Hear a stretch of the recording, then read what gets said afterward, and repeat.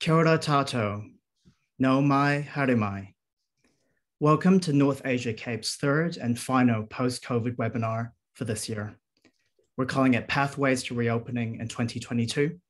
I'm Charlie Gao, Director of North Asia CAPE, and I'll be your host for this event. Our organization, the North Asia Centre of Asia Pacific Excellence, is a New Zealand government funded agency hosted by the University of Auckland. Our mission is to support New Zealanders to become more knowledgeable, capable, connected, and ultimately more successful in the region. As part of this mission, we host regular events and webinars on topical issues that are relevant to New Zealanders as they look to engage with Asia. And this is why we started this series last year, really as an effort to help New Zealanders to understand COVID developments in Asia and the implications for New Zealand businesses and our wider society. I know that most of us are really fatigued with thinking about COVID um, and with Zooms in general. Um, I know that I'm both of these things.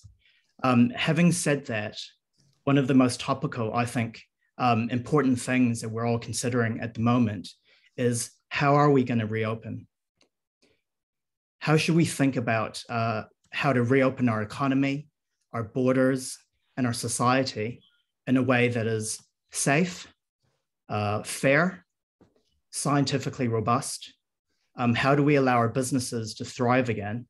And how do we do it in a way that's sustainable?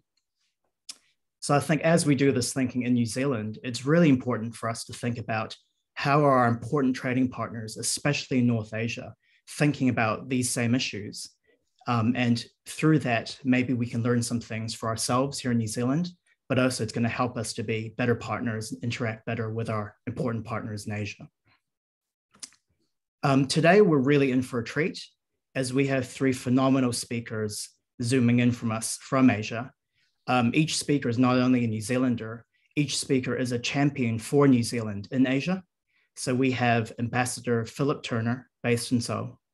We have Catherine O'Connell joining us from Tokyo, and we have David Mann joining us from Beijing. So to introduce our first speaker, His, Excellence, His Excellency Philip Turner Philip was appointed New Zealand's ambassador to the Republic of Korea in March of 2018, and he is concurrently also ambassador to the Democratic People's Republic of Korea. Philip has pr previously been posted as a diplomat to Tokyo and Brussels. He has led Fonterra's China business based in Shanghai and served in a number of senior roles for Fonterra. Philip, thank you so much for being with us today, and over to you. Uh, kia ora, kia ora koto and kia ora um, Charlie. Annyeong Shimika from Seoul. It's great to be here. Um, what I would like to do, excuse me, just adjusting my screen slightly, is talk briefly about the overall COVID situation in Korea um, and a bit, a bit then about what it actually feels like being here on the ground, especially for business folk. Uh, and then uh, finish off with a bit on the um, the New Zealand business situation, how our trade's tracking with Korea. Um, and I'll take about 10 minutes and Charlie will interrupt me if I go on too long, I hope. Uh, so first off, I think like in, in common with my colleagues in Japan and China, you know, I think we're all feeling relatively blessed to be in a part of the world which is doing a pretty good job, I think, of, of managing the pandemic compared with some other less favored parts of the globe. Um, Korea has done this in a very different way from New Zealand, but oddly, in some ways, uh, with similar results. Uh, we so Korea has avoided uh, any lockdowns uh, pretty well altogether, and it has kept the borders open throughout the pandemic, which is quite a feat. Uh, and yet, despite that, has managed to keep the in, number of infections and the impacts um, at a manageable level, including today. Uh, so the economy I'll talk about shortly, uh, but just to focus on the, kind of COVID measures for now. Uh, as I said, they, they kept the borders open, avoided lockdowns, and managed the, the, the pandemic through uh, some restrictions on movement, through widespread mask wearing, and so on. And that's been pretty successful. Uh, I think partly because you've got uh, a really good record of public compliance here, a lot of respect for government and medical professionals, maybe helped by a dose of Confucian and hierarchy, respect for hierarchy. Uh, so public um, behavior has been pretty good. Uh, and of course, they have an excellent medical system and infrastructure in Korea. So that's uh, enabled them to manage the pandemic. And then as Delta has arrived here as everywhere, um, like New Zealand, they've got into a race to get vaccination high as quickly as possible in order to be able to reduce other restrictions. Uh, and then the numbers are very similar to New Zealand. Vaccination rates, they measure them here as a proportion of population rather than just the eligible uh, population. Uh, and they're over 70%, you know, totally vaccinated for the whole population, which is pretty damn good and very similar to New Zealand. So given that, uh, from the beginning of November, Korea moved to what they call living with COVID, or with corona, as we say in Korean. Uh, and that's a recognition that um, as in New Zealand, we get it that we, we get to live with this thing. Uh, and some restrictions were eased from the beginning of November. Um, predictably, as in other countries, that's resulted in a bit of a surge of infections. Uh, and so just this week, the government's had to kind of just rejig a bit, dial back a little bit on its planned uh, removal or re reduction of restrictions. Um, so they are looking, for example, to uh, moving quickly now to provide booster shots, particularly to the elderly. Um, as in other countries, we're seeing, um, even in Korea, pressure on the hospital system, ICU beds, um, you know, serious hospitalizations, particularly of, of older people. So um, the, the government is, is um, basically just slowing down a little bit the removal of restrictions, um, and they'll continue to watch the numbers as we go forward. But look, the situation on the ground, as far as individuals and business uh, is concerned, is pretty good. Um, everyone wears masks. Uh, you can travel around pretty well anywhere you want. Um, the main restrictions still remain, uh, are still there are on big events. So uh, quite frustrating for business and for embassies. We are still largely unable to hold any large events, receptions, conferences, promotional events. We are able, however, to hold uh, smaller events, uh, lunches, dinners, meetings with, uh, with people. There's quite a lot of Zooming, obviously, and uh, you'll often find that uh, because of COVID, certain offices are, are, are, closed down for a day or two. but generally, it's not difficult to get to meet people. Uh, and we can certainly, as the embassy, uh, help um, businesses and others with uh, lunches and dinners.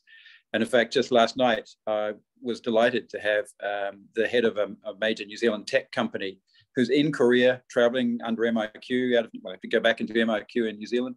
Uh, but he was able to come to Korea. We had a dinner last night with a dozen or so customers, contacts, uh, distributors, um, and uh, you know put on a show for them with New Zealand food and wine and so on, and that went really well.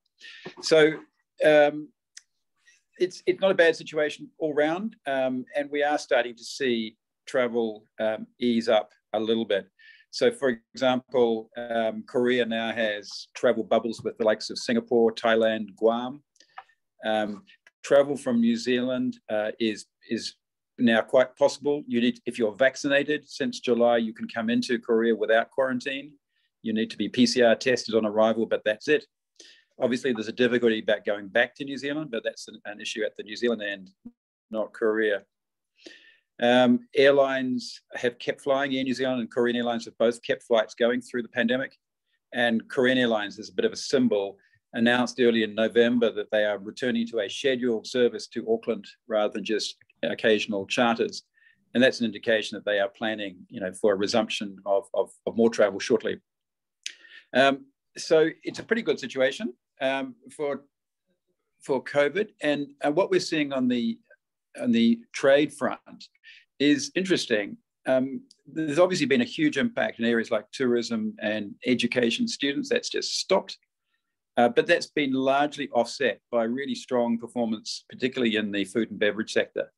So um, we just did some, some numbers this week. Uh, Korea has actually bounced up to be our number five, our fifth largest trading partner.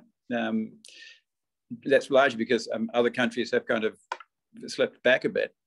Um, trade is, is basically steady with a little bit of growth, particularly in food and beverage. um, offset by declines in some, some other areas.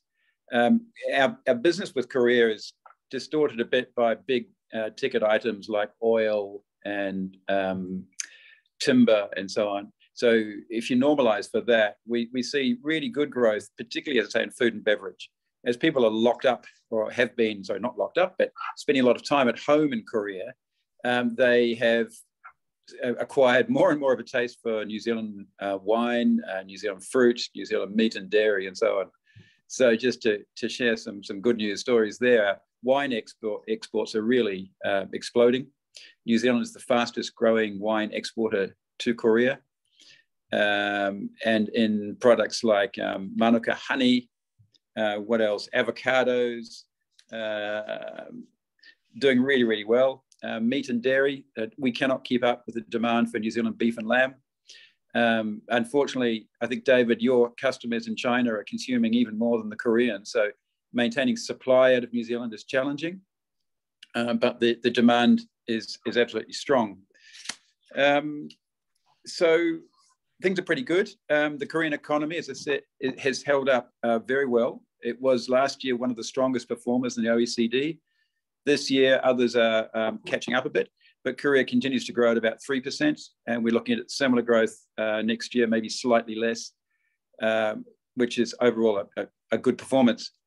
Um, and there are some very interesting things happening. Um, I'll share with you just a couple before I close. Um, one is in, in the tech sector, where we're seeing a lot of interest out of New Zealand and collaborating with Korean companies in tech. We've run a couple of tech roadshows remotely through the, the pandemic. Um, and there's a lot of interesting work underway in areas like AI, VR, uh, and so on. Um, a second little story is about New Zealand company Skyline, which you'll be familiar with from Rotorua and Queenstown. Uh, they've just opened their second luge track in Korea in Busan, uh, which is doing very well. And you know they're doing it remarkably well through the pandemic. The last one I wanted to share was just around education, where you know obviously nothing's been happening in terms of getting new students down to New Zealand. But what we're seeing is an interesting development here with schools um, in Korea getting involved in what they call metaverse education. And that's what they call it, where they're basically using not just Zooming, but um, AI, VR, virtual reality, and so on to create a kind of a, a metaverse for students to create a more interesting environment uh, for online learning. So this is consistent with New Zealand Education, uh, Education New Zealand's approach of saying rather than just attracting students to New Zealand to teach them there, we're increasingly interested in providing New Zealand education around the world globally. So it's not just come to New Zealand, but work with New Zealand for your education. And as and when um, the restrictions, you know, I hope fall away, it'll be interesting to see how much um, of a change we make in the way we, we promote our educational services as a result of that. So I think that's probably about enough from me. Um, I'd be happy to answer any questions later on. But basically, Korea is, a, is a, one, of the, one, of, one of the best places in the world, probably over the last 18 months to have been. And um, New Zealand's business is doing fine. And I think our overall reputation and profile has, if anything, been enhanced by the way New Zealand is seen to have managed the pandemic. Charlie, over to you. Thanks, Philip. It's um it's pretty excellent to hear that Koreans um sitting at home are you know enjoying our wine and foods and and afterwards are working off those calories through uh, going down a luge. So that's that's pretty cool to hear. Um, Fantastic. Like our second speaker now, David Mann. David was born in Auckland and has called Beijing his home since 1984. Um, his business, Mann China Investment Management, is to my knowledge anyway, um, the longest established New Zealand owned investment advisory and corporate advisory firm based in the Chinese mainland. Um, David, David and his team have managed five private equity funds over the years and worked with some of New Zealand's leading companies to manage the risks and seize opportunities in the Chinese market. Um, and as part of this, David has been analyzing and commenting on the Chinese political economy and society for more than 30 years. So, David, over to you. Thanks, Charlie. Um, thank you very much, everybody. I will try and describe to you the circumstances here. Um, I was in New Zealand all of last year, but I've been back in China since February. So, since my return, um, our business has grown. One of the things about COVID we find is that because people can't travel to China, they need more assistance in China. So, usually when times are bad here, for advisory and um, management firms like ours, the market's good. China's continued manage of, management of COVID is quite stringent. Uh, in fact, it probably is the tightest in the world. Um, Beijing, particularly, the quarantine time required if you live in Beijing is three weeks quarantine in a hotel not in Beijing, and then one week at home. Um, and that still remains. To travel, we need to COVID test out. I'm getting a test on Sunday, which will allow me to land safely in Shanghai on Tuesday. And then I'll have to COVID test back into Beijing um, next weekend. So wherever you go, you're very closely monitored. But it's not a sort of police state type arrangement. It's the public health system. It's pretty convivial. Um, you know, people are uh, kind to the stressed out older people fumbling with their phones to try and find their app and swipe it across the code. How long China can manage the zero tolerance with the Delta variant is a question. Um, they're certainly managing it now, and they'll remain pretty closed around these things until I think after the NPC. So we have the Winter Olympics in February, and then followed by the National People's Con- National Party Congress. Then things may begin to relax, but there has been an economic cost to this. A lot of service businesses, smaller companies have have really struggled. Um, there haven't been any lockdowns really since last year, but now we're getting a patchwork of them. One of my colleagues who lives um, 40 minutes drive from me in Beijing City is in a community of 3,000 people. It's a cluster of buildings. One family tested positive. The whole building is now restricted from any movement for the next three weeks. So um, that's how tight things are. However, the vaccination rate is over 80%. Um, travel for business between cities that are not Beijing is still pretty fluid. The economy is doing well, um, surprisingly well. People look at the export figures, which have been staggering, but China doesn't really need those. You know, China is now a domestic economy where the internal trade is the main engine. It's been like that for many years, and there's often been an over focus on the trade account. On the other hand, China does need inputs, and with the global shipping problems and logistics, inflation is creeping into the uh, manufacturing sector, and there are a number of issues for businesses around the fact that it's very hard to predict when you'll get your components and supplies through the ports. So I think there's a bit of an issue next year with inflation. I see a slowing of the economy. We'll probably get 7.65 um, GDP growth this year. I think next year will be lower. It probably be five point something, um, which is more sustainable. The heady growth this year is very much driven by the trade account. But consumption is strong, the service industries are strong. There's new policies um, which uh, are becoming quite controversial globally. It's, really, it's the tag is common prosperity. It's really about restructuring the way in which income flows are managed not just by individuals but also um, city governments, small town, small towns and provinces. It's leaving more cash in the pockets of householders. It's allowing them to spend and not save for things that in the past they couldn't rely on because social welfare has expanded due to COVID. Um, so, in some ways, there's a look that China's getting becoming more socialist in a way, it's managing its um, way forward in an age of COVID, trying to maintain a level of prosperity and confidence. And I think it's working. The downside are there's rumours that the health app, which is a pretty much an absolute position for anyone to enter a restaurant or go to a public building, can uh, afford tracing to um, the security services. And there are rumours that the families of dissidents about to visit their um, loved ones who are either in detention or um, home detention suddenly go red and they can't move. And there's been a few people, uh, controversial lawyers and journalists, that have said the same things. And this is not uncommon in China. It's always been part of the social and security fabric. But overall, I think there's a lot of confidence here. There's a genuine confidence in the way that COVID's being managed.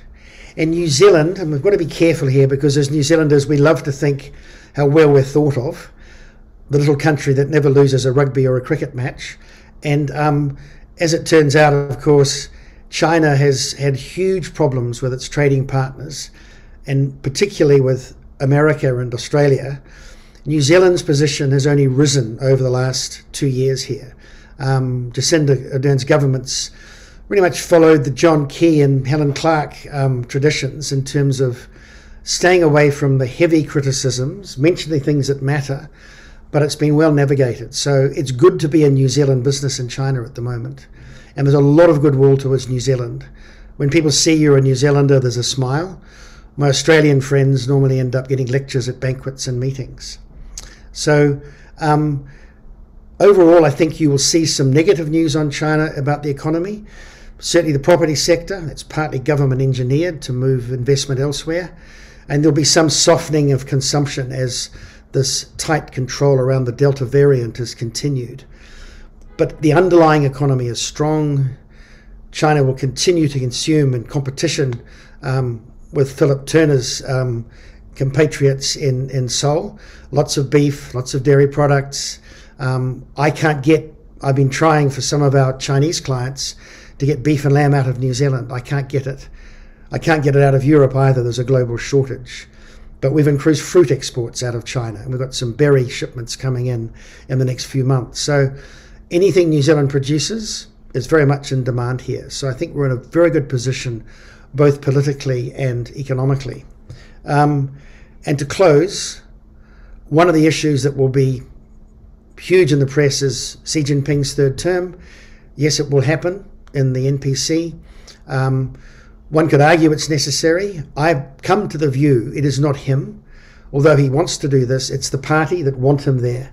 And when they don't feel it's appropriate, he will he will change like all the leaders since um, Deng Xiaoping have changed. So I, I, cease to see this as the critical political issue it, it has been perceived as. However, if he were to get sick um, or die in office, there is no real succession plan at the moment, and that is one of the big risks here.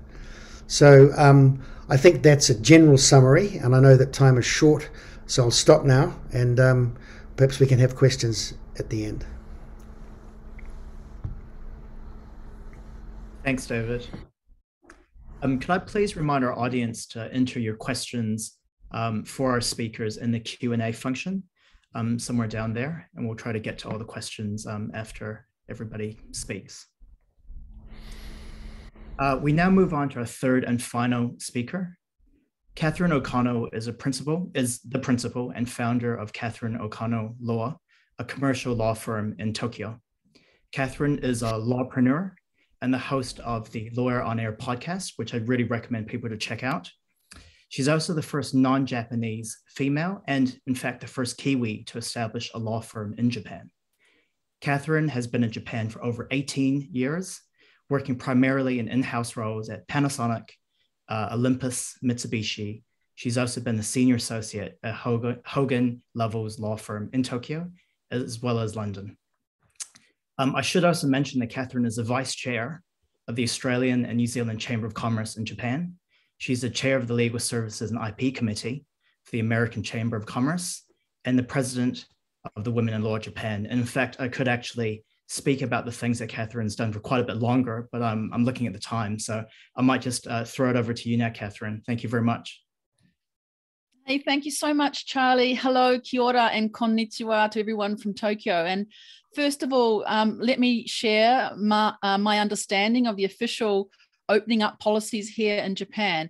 But I also just want to say it would be remiss if I did not go back a couple of months to when Tokyo did hold the Olympics and Paralympics during what was a, as you know, a global pandemic, and it's been and gone. Japanese athletes athletes performed at their peak. So did New Zealand. Uh, Sophie Pascoe was a star here, a real star in the Paralympics. She appeared on the TV here as well, which is a big kudos to her. Uh, 430 people tested positive during the Games. Considering uh, 90,000 athletes and officials came to Japan, uh, you know, that is really a feat uh, for Team Japan to have kept the numbers so low. Most of them were actually residents in Japan uh, who got the virus. We all waited for the easing of the entry ban into Japan as that Olympic flame was snuffed out, but nothing happened. And then we waited for the election uh, of the new prime minister on October 31, and nothing changed then. But then on November 5th, just this month, an announcement was made that Japan was finally going to lift the travel ban. And there was this initial relief for the 370,000 foreigners who are waiting to move into Japan. These are people for whom the visas have been approved, but because of the ban, they couldn't come into Japan. And there's around 70, 70% of those are students, international students, and technical trainees, and 30% are business people who have got long term jobs secured in Japan. But the lifting of the entry ban only means that people can come here for short term. Business people can come for short term, foreign students and political uh, and t- technical trainees, and they have to be under the supervision of companies or schools. Uh, so that initial jubilation of hurrah, you know, the, the the gates are open is not necessarily how it is. And Japan started accepting uh, entry documents from Monday the 8th so just very recently. But a grey cloud has descended because uh, the paperwork, Japan loves its paperwork, and indeed the paperwork is so daunting. They have to submit six, six forms uh, and has to include an application, a list of arrivals, a written pledge, and a detailed uh, itinerary. And companies have to submit this these documents three weeks before a person is coming here, and they have to be approved by the various ministries. There is no one-stop shop so it's the typical uh, bureaucratic uh, system that uh, holds Japan back, unfortunately. So entry applications will also be accepted in order of the date that the visa was approved, not by order of urgency. So they will start approving those that were approved in January to March, not this year, January to March last year. So there's a big backlog.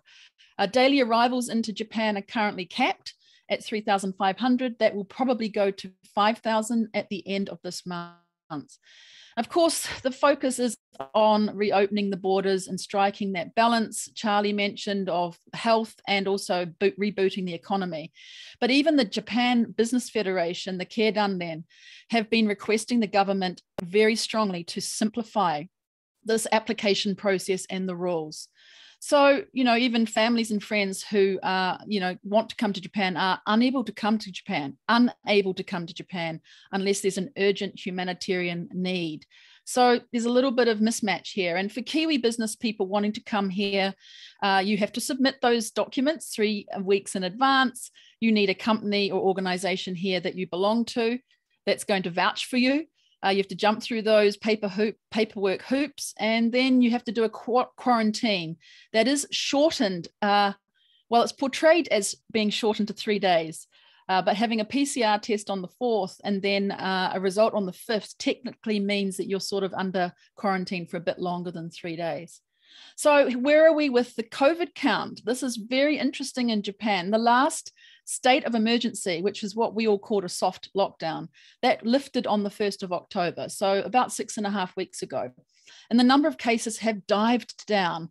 Uh, we have actually not had a state of we've been in a state of emergency for most of this year we only had 28 days of this year that were not in a state of emergency so covid numbers have taken a dive 168 cases a day um, even tokyo two days ago reported only 15 cases.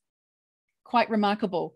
Um, since the pandemic began, 1.7 million infections in total, 18,500 coronavirus related deaths, and Japan's administered 194 million doses of the vaccine, and 77.2% of the population uh, are now vaccinated.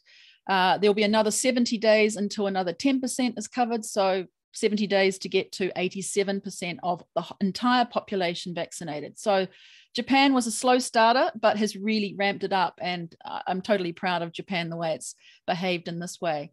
So, turning to some other interesting things that might be uh, hopefully of interest to everybody there. But uh, in terms of monetary stimulus, uh, as I mentioned, PM uh, Prime Minister Kishida was elected as Prime Minister on 31st of October. And one of the first things he did was to announce a stimulus for post pandemic recovery. But only one in five Japanese people are satisfied with this uh, stimulus package. It's simply a handout of 100,000 yen, about 880 New Zealand dollars, in cash and vouchers, not all cash, vouchers uh, for people who have a child under 18 years of age. Um, the average income in Japan is 4.4 million yen, and the threshold is actually a little bit higher. So a lot of people are going to miss out on this uh, handout. So it's not quite as good as it is rumored to be, but he hopes to increase his popularity by doing this. Some interesting news about a new COVID drug innovation. A Japanese company VLP Therapeutics Japan has launched the first phase of a clinical trial here for a new COVID 19 vaccine, which can induce a sufficient Im- immunity with smaller dosages. And they hope to put that through uh, the end of clinical trials in spring next year and bring it out to Japan and other countries at the end of the year. Apparently, this drug only requires one tenth to one hundredth of the dosage of the current vaccines. So let's watch this space. I think that's very exciting coming out of uh, Japan. Next, I'd love to give you an outlook of for uh, Japan from Japanese people. And then I talked to some Kiwis on the ground here, and I've got their raw voice to tell you what they are thinking about the pathways opening up. Um, so, about Japan and Japanese people, a Kyodo news survey recently uh, showed 90% of 111 major Japanese companies who were surveyed including, for example, Toyota and Sony. Uh, they expect the economy to expand in 2022 on the basis of this uh, pandemic subsiding and the increase in the coronavirus vaccinations. 83% see uh, a recovery in private, uh, um, private consumption uh, by the, the average person around the street. 72% uh, pinned their hopes on easing these coronavirus restrictions. And so these are really good numbers, I think, reflecting Japanese business sentiment. It's really up, up and up in Japan. Um, the Nikkei this morning reported that uh, Japan's considering letting foreign nationals working in farming, you heard it, farming, food service, and other sectors to be able to remain in the country indefinitely. And this is actually a significant turning point for Japan because usually Japan keeps its borders pretty tightly closed to long term immigrants, unless you are a specialty occupation like engineering or a lawyer, for example. But because Japan faces this big aging population and uh, a labor shortage, uh, they will bring people in, and this will be a major shift to Japan's immigration policy. So let's see what happens here moving to New Zealand companies and likely pathways that they see in 2022. And I think this is hopefully going to be good for everybody. So get your pen and paper ready. But um, in the first webinar series this year and, and second, I went to the horse's mouth and asked Kiwi companies uh, about their their views and I've collated the raw answers. So the good, the bad, and the ugly. I asked them what was the outlook uh, and what opportunities they see for New Zealand companies coming into Japan post pandemic recovery. Are there any opportunities and gaps? One company I asked said this, and I'll read it. Personally, I'm not convinced that we are out of the woods with regards to COVID 19. I think it is wise for New Zealand and New Zealand businesses to be prepared to live with COVID res- disruptions on an ongoing basis. Uh, even acknowledging that New Zealand's at uh, more than 80% vaccinated. Uh, so, how to minimize disruptions in a realistic and sustainable manner is going to be uh, very important for New Zealand to increase its credibility as a trading partner. This Kiwi went on to say that, much like you said, um, Philip, on the ground in Japan, it also feels very much like Japanese business is just getting up and operating as normal, regardless of the, the waves of infection. This particular person had been presenting at uh, their products at trade shows throughout the year. So trade, trade shows were held even uh, despite these waves of COVID cases. And I agree with this. The trains are running, uh, the bars are open, uh, it's business as usual. The foot traffic in shops is up. It's quite frightening going there because there's so many people, but everyone, of course, is all uh, wearing masks. And I mean frightening because there's just a surge of people after zero for so long. So, continuing what this person said, he thinks if New Zealand can emulate a kind of pragmatic approach uh, and be able to differentiate ourselves, there should be uh, room for us amongst all these other uh, global uh, trans- um, disruptions that are happening. Uh, I also asked what are the implications for New Zealand companies in Japan uh, regarding supply chain, etc. And the response was that the supply chain is actually difficult um, and this situation is not fixed. Uh, we need to, people here are holding more stock than they would like to so that they don't have any shortages. They are all looking forward to New Zealand representatives coming back to Japan, and they are planning for that to happen in March so that they can make big moves on the ground here. Um, it's been a real force of resistance to uh, Japan and not being able to do business in person. It's a very business in person uh, country, and I'm envious of what you were able to do last night, Philip, with your team there and uh, supplying the New Zealand products to your colleagues and friends. Uh, a further question I asked was how has Japan transformed over the last 12 months, especially around digital transformation, which is a hot topic. Uh, and the answer was pretty clear that some signs of digital reform are taking hold, but there's still a lot of rubber stamping and shuffling paperwork and red tape. Uh, and again, just not having that face to face communication is really taking its toll still. Um, and then I asked some businesses again, just as the last question I asked them was uh, what they can do now or next. Um, they recommended keeping an ear to your customer and to the export markets. Don't allow yourself to hide in a shell in the face of these headwinds. Uh, communicate openly and honestly with your customer. Uh, avoid optimism on your guidance on delivery times have a plan for COVID if it indeed becomes seasonal, as seems to be what people are thinking it's going to be. Uh, and observing from here, several people who are operating businesses as Kiwis here said that brand New Zealand is facing challenges at the moment. As a business leader, please ensure that the New Zealand environment continues to encourage diversity, critical, critical thinking, and problem solving, and lobby the government where you can. And uh, just I'd like to finish on an up higher note, which is a few hot trends that are on here, three to give you.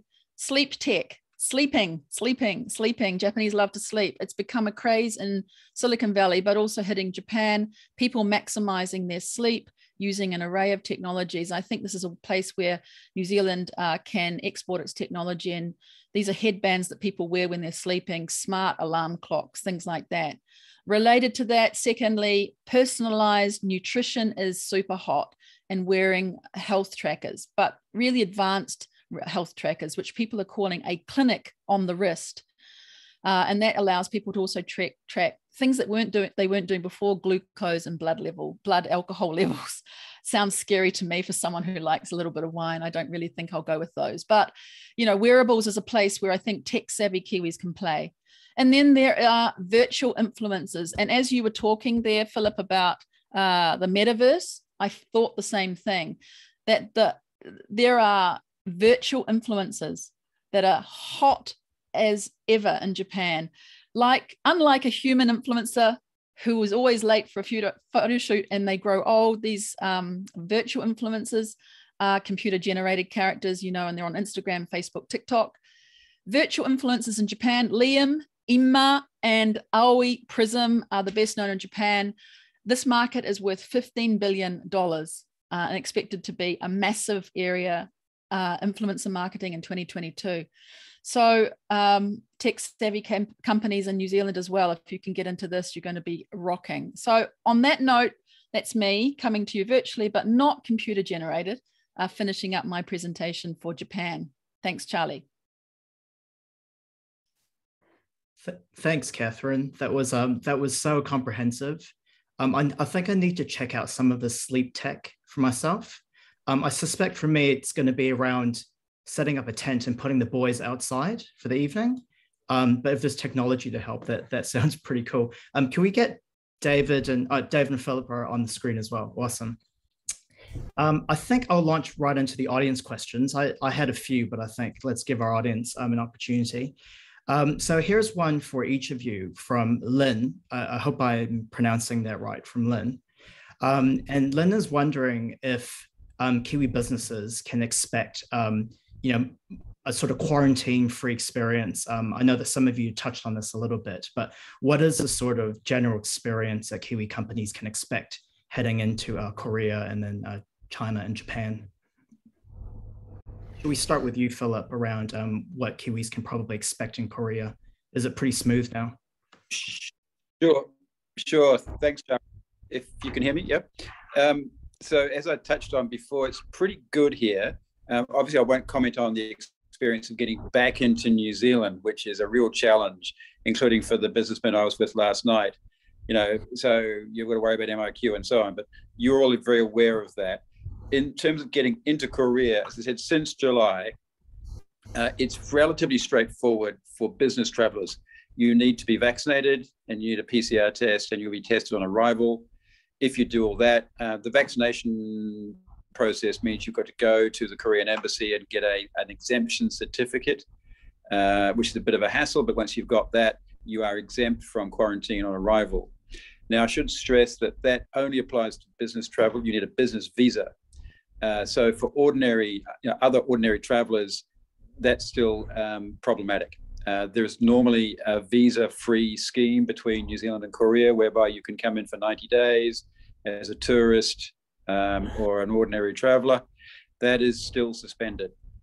Uh, so you know, there's no mass tourism at the moment into Korea, but for business travel or people with a you know who can, as a bit like Catherine was describing in Japan, if you can find a sponsoring organization uh, to, uh, or you have a good justification for coming, uh, you can you can get in um, without quarantine and uh, do your business. Uh, but mass tourism is going to be take longer. As I said, Korea has started opening travel bubbles to the likes of Singapore, Thailand, uh, Guam, and I think that will probably be extended um, in the next month or two. Uh, they're doing that on the basis of uh, obviously countries with high demand and good COVID records. And I know they are keen to extend that to New Zealand. So I think the ball's in our court as to whether New Zealand's able to respond to that. I'll leave it at that, Charlie. Thanks, Philip. Um, David, um, maybe we should go to you around the picture in China. Um, it seems like perhaps the most restrictive of the three North Asian countries at the moment when it comes to people trying to come in. Um, are there any discussions around when that might change and how it might change. And I guess as a sort of um, something that's quite related to that is around the elimination strategy itself. Now you've touched on this a little bit in your talk, but um, I mean, what is the outlook for elimination? China seems to be one of the last countries around that's still um, at least talking about elimination, whereas in New Zealand that's obviously changed quite a lot. So um, yeah, so those two parts, I guess. I think for elimination, um, China's situation is unique the population size, the density of people's living circumstances are such that they've got to be very careful. I think they have something like half the number of hospital beds in the cities as Britain, which doesn't sound dramatic, but it's huge because it means that if there was any surge in cases, then um, the system wouldn't cope. Like New Zealand, that's been one of the drivers. How much can your hospital system cope with? So they're being very conservative. It also tracks into an instinct here. I mean, this is the country that built the Great Wall. Was it to keep people in or keep people out? It was a bit of both. This is also the country that closed its borders through many dynasties. You know, the great travelers to China like Marco Polo or Matteo Ricci in the um, 14th century spent years in, in cities before they could actually get away from confinement and travel in the country. I think it'll be slow. An example is the head of Zespri has just left, Daniel Mathieson. He flew in from Singapore, which has some advantages. He spent two weeks in quarantine in his hotel in Shanghai, one week re- restricted to the city, and then a total of five weeks in China. You know, we traveled together down to Yunnan and places. He had to have quite a program to justify the time he was basically um, locked down. So I think it'll be a while. I think it'll be slow. But any country that initiates open their borders. And I think this is to Philip's point. If New Zealand makes some sort of initiative, I think China will move very quickly to try and accommodate it for a small country. The rumours are that for Chinese New Year, Cantonese people can travel and visit their relatives in Hong Kong and vice versa. So in a contained way, that might occur. So I think they'll they'll experiment with it. They won't announce it's changed. I think people will just find it becomes easier at some stage next year to get visas but I think we'll be the last to open. And I think the Chinese are falling back on an historical comfort with relative isolation, unfortunately. Mm. Thanks, David. Um, Catherine, how's it looking in Japan? I mean, I guess not just for business tours, um, uh, business travelers, but um, so many of us have enjoyed uh, visiting Japan and all that it has to offer. So when can that perhaps happen again? Yeah. Yeah, so I mean, I basically covered the, the quarantine situation mm. where if you file that paperwork, get through all those barriers, you can come into Japan for a short term uh, as a business person and stay for uh, three days in quarantine, have the testing, be out. But then basically for the remainder of the time, I think it's up to 10 days, you are still uh, being monitored. Uh, on your travel and where you go and what you're doing. So it's it's pretty restrictive in that way. I've also heard that um, if you're out and about between those day day four and day ten, you are still um, not able to do certain activities like travel to other areas. Say if it's Tokyo, outside of Tokyo, uh, not allowed to meet with groups of friends. That hasn't been disclosed publicly yet, but it's it's the rumors that we've heard through se- several uh, reputable places. So it's still going to be quite restrictive. Uh, Japan desperately wants um, visitors back, especially from David's part of town, which is China. Uh, China's been a, a massive uh, supporter in Japan, and and China and Japan's economies are really very well linked, I think. And so they'd love to have them back. But the problem that Japan is facing, they do want the tra- tourists back, but how to track people while they're here, and that's the difficulty. So I think for some time soon, uh, this will still be limited quarantine uh, still restrictive, but Japan's got a backlog to get through. So once they get through the 370,000 people, perhaps they'll be able to uh, work on the next stage. But you can guarantee that Japan's working on it in the background, as they were all through the Olympics, all through the election, because that's how they could announce on the 5th of November. If they were doing no work on it, we wouldn't have heard anything. So they're work uh, they're, they're working on it, but it'll just take time, very slowly and casually, uh, not casually, cautiously. Thank you. Yeah. Thanks, Catherine. Um, we've actually had a couple of questions on this sort of rough theme. Um, we've had a question from Luke around how are people reacting to the measures uh, in, in China? Um, and also another question just around in each of the countries, um, there's varying levels of restrictions, but it's been a long time now, you know, and we can see that in New Zealand. Um, well, I mean, I can say for us Aucklanders, it's getting increasingly tough, and I think we're doing our best. But the sort of um, ability for people to keep going is sometimes, uh, well, I think it's limited.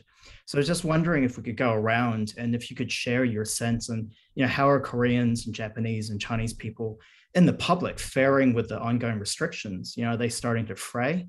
Um, are they starting to uh, ask questions more than they were, um, you know, a few months ago?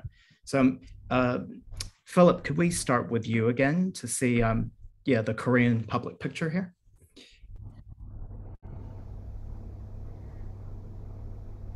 Uh, you might be muted, Philip. Thank you. Sorry about that. It's not a proper Zoom uh, call unless one person is muted at some point, so that's good. Yeah, right. Uh, look, it's, it's it's tricky to kind of be a direct comparison without actually traveling around and experiencing what other countries are feeling. Um, so I'll be a bit cautious, but I think the Koreans are actually not as frustrated as some others. Um, one thing is we don't see any sign yet of the sort of um, um, protests, demonstrations, particularly from our vaccination resistors or people who just resent the government telling them what to do, you know, and putting restrictions on their individual freedoms. Even though in Korea this, you know, we are seeing a little bit of discrimination in the sense that if, if you are vaccinated, you will be freer to do things. But we haven't seen demonstrations and people getting on, um, getting up, upset about that yet. Uh, having said that, I think there is everywhere, you know, quite a lot of frustration that this thing just goes on and on and on. And just when you think it's it's getting better, you know, there's another wave, a fourth wave, a fifth wave, that drives people nuts. You know, it's just very frustrating, and everybody there's a, uh, a, frustration about not being able to travel very much overseas, even though that is easing up now. Um, you know, enormous numbers of Koreans flooding to Jeju because it's the only place you can really travel to, uh, and um, and you know, mask wearing everywhere, restrictions on large events, weddings, funerals. You know, these things they just take their toll and create a general sense of of, I think I would describe it as, as fatigue and frustration, um, but not as aggressively expressed as in some other parts of the world. Charlie. Thanks, Philip. Um, David, is the level of sort of compliance and public sentiment still reasonably positive? Yes, um, almost unfailingly. There's no no one, even old friends in a restaurant late at night in Shanghai, are not complaining about the, the restrictions. Everyone knows that while it might not be for them, there are those who are vulnerable in society, whether they have impaired health or they're old. Um, the other thing is that for Beijing, because the government's here and because the Winter Olympics are coming, if you are traveling and you have children, it's a big issue. And um, the senior women, as you'll remember, Charlie and my company are women. Um, they have children of school age, all of them. So um, uh, I'm doing 50% of the traveling and interaction at the moment because if we came back from somewhere where there had been a case, it may be that their family had to lock down and their child couldn't go to school. So it's very inconvenient, but no one's complaining. And the thing is that um, people are doing business with the same intensity, the same enthusiasm. On virtual, we do a lot of Zoom calls, um, a lot of WeChat communications. On the streets, yes, mask wearing is pretty common. Um, it certainly is anywhere where people are crowded. But if you go down the streets of Shanghai, people generally are um, maybe 70% masked, 30% not. So there's a kind of a people are rolling with it. I think the quality here is not so much obedience, but a sense of endurance and patience, which is one of the things that's stood China in good stead through its economic reforms. So it's not bad. Mm. Thanks, David. Catherine, how's it looking in Japan? I'd say similar to David, that endurance and patience. Um, and Japanese people here were pretty frustrated at the beginning. It reached its height, I think, at the beginning of the Olympics. Why so many people coming here and we're all locked down and we can't go to the stadium uh, and see any of these sports? It was all remote. So we knew a games was happening in the town, but you know, no one could go anywhere near there, just outside the stadium for a few selfies, and that was about it with the uh, Olympic rings. So there was a lot of frustration, but I think not really voiced so much, just a uh, you could feel it almost in the air. It was quite heavy, but now that's gone past and things have lifted. And as I said before, you know, I live in a place where it's very close to get to a bar, probably about 100 meters down the road, and they're all open and people are back. They're wearing masks, of course, wearing masks during dinner and drinking, but only taking it off to drink, put it back on again. It's probably slowed down the pace of people drinking, I think. Uh, but it's all, I think, become very buoyant.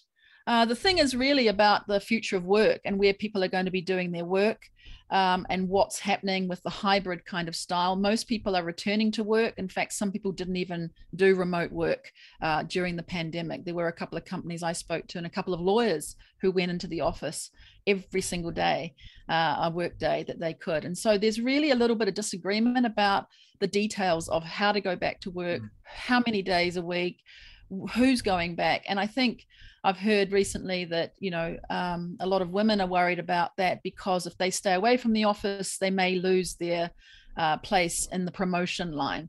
So I mm. think being really crystal clear amongst uh, Japanese at the moment about what the return to work policies look like uh, mm. is really important. You've heard about this great resignation as well. That's on the minds of many people here. Uh, Microsoft surveyed uh, people and found that 41% of workers wanted to quit their job. And in Japan, a recent survey by one of the big uh, four consultancies indicated that 63% of Japanese want to leave their job. So we've got this sort of massive change through this the remote work hesitancy, hybrid, how you do that, and that's going to be a big challenge for Japan uh, at the moment, I think, going forward. Thank you. Um, I think we have time for one last question.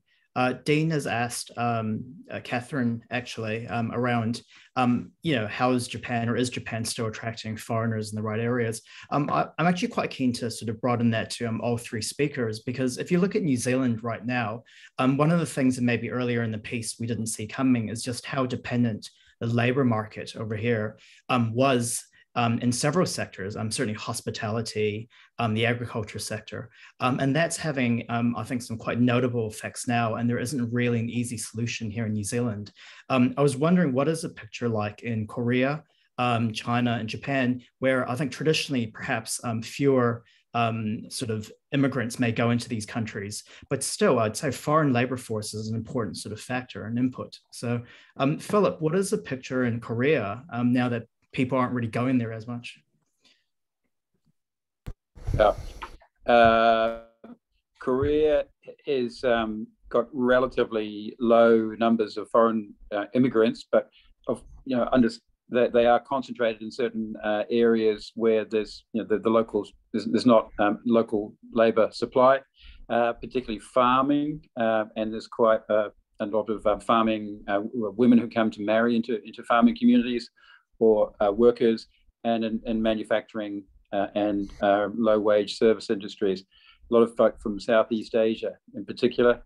Um, I think that what how the, what's happening at the moment is it's largely being kind of frozen um, obviously, coming into the country is possible but difficult, uh, and so people are just basically trying to kind of staying where they are, um, and employers are trying to keep the staff they have and try and dissuade them from going back to their own countries. So I, I think my sense in Korea is that that issue is sort of frozen for now, um, and the longer we have no clarity on immigration settings, um, that risks becoming problematic. But so far, there's you know, tight labour markets but it hasn't emerged yet as a major problem. Uh, David. Yeah, I think, um, I mean, COVID globally has been beyond the restrictions and the things of our personal and professional lives. It's something that's happening on the planet. I mean, it's a natural virus, it's out there. Um, interestingly, research here, which no one seems to be talking about these things much, but They've found historical cases in, in a series of caves in the mountains of China, Myanmar, Vietnam, and Laos. So that's been going on. I think Oxford University was looking at in the post SARS era. So they're beginning to find there's a nexus of this virus. So my view is it's just part of humanity. What is it telling us? A lot of things. Um, that pressure on work satisfaction. What do you think of your company? What about the pastoral environment that you're working in? As an employer, I found that a big challenge back in China. As you know, we're a very small team, Charlie, but um, I'm having to deal with a whole lot of pressures which on people's lives working at home, particularly women in this environment that go to work at home. The burden of doing everything else at home, which they have to do often anyway, is, is huge. So these are things which are really have been catalysts and are giving people choices to perhaps make change or consider making changes. The other thing that's highlighted here is the class system. It's an anathema to mention it in a so called communist socialist country, but there's definitely a class system of those who are connected, educated, live in cities, live in the countryside.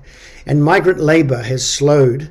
A lot of people are not coming out of the countryside as they normally would, and they're not tr- tracked in the unemployment figures at any time. So that's a very interesting part of a sort of under. It's not destabilizing, but it is a significant factor in the community. So for outside workers, once this passes, China's openness to anyone who's got skills to work here is going to increase, emphasized by the, the trade war with America and the marginalization of relationships like Australia. So for New Zealand, I think anyone with real skills who's keen to come and do something, once this is passed, there'll be a great appetite for professional skills and for people who want to come and study and make a life here. So I see that as the upside going forward. It's good to hear, David. Um, Catherine, you touched a little bit um, on some mm. of these hmm. employment issues. Um, but yeah, I, I, guess if you wanted to expand on that really quickly, now, so around the foreigners coming in, part of well, it's just been closed gates, so nobody could come in. And I think, you know, thank you, Dean, for your ex- excellent question and for joining today. It's tough I mean, we couldn't get anybody in. I've got clients who wanted to come and sell their products in Japan and they couldn't get in. And we tried all kinds of ways. How could that happen? To set up a company, you needed to have a bank account open uh, with 5 million yen in there. How can they do that without somebody coming here to do it? How do you find someone to do that? Uh, you could get a representative, but are you going to pay them 5 million yen uh, and then get your money back later when you finally can come into the country? So it's very hard to do business. Uh, I think that news out of the Nikkei this morning is great. Uh, it's farming, food service, and other sectors. So we look forward to seeing what they are. Meantime, e commerce has been phenomenal in Japan. It's been an 80% uptick in that during COVID 19. So businesses in New Zealand who are selling online you're there, right? So digital economy, getting into this farming and food sector, environment, sustainability, low carbon future, SDGs. Japanese are wearing those badges with the pretty colors. They know what SDGs now mean. Uh, everything's going to be going in those areas, hydrogen and space. So those are the areas. And to the extent possible, I think, Dean, they should be done online. uh, and when the gates can open you can fully come in here just just come and, and start doing business because that's the way japanese like to do business but mm. i think there's plenty to do if you uh, have that kiwi ingenuity number eight wire attitude and get out there on the on the e-commerce side of things that's where it's really uh, singing so well at the moment well, thanks, Catherine. I think that's a really great um, sort of note to end it. Um, apologies to um, you know some of our um, audience who've asked questions we haven't had time, so apologies for that. Um, I just really want to thank um, all three speakers, uh, Philip, David, Catherine, for your time. thank you also for being champions for New Zealand overseas. Um, I'm sure there are moments where you would rather be back. Um, you know, I'm sure there's moments, um, but having you over there, I think, is um, yeah, it's a real it's a real asset and a real, really valuable for the rest of us. Um, so thank you very much. Um, a big thank you to the North Asia CAPE team. a lot of work goes into organizing these things and in the back end. so especially in this case, thank you to Laura and Ewan who've done a lot behind the scenes here. Um, and yeah, finally, thank you to the audience. I mean, sort of, we, we wouldn't do this without you. We've had a really good turnout today. Um, I hope that um, you've learned something useful, but also, um, yeah, just enjoyed the time that we have with our Kiwis overseas. So thank you so much for joining. Um, so on that, um, just wishing everyone on the call good health and see you again. Mā te wā. Thank you. Thanks. Kia ora. See you. Kia ora. Bye-bye.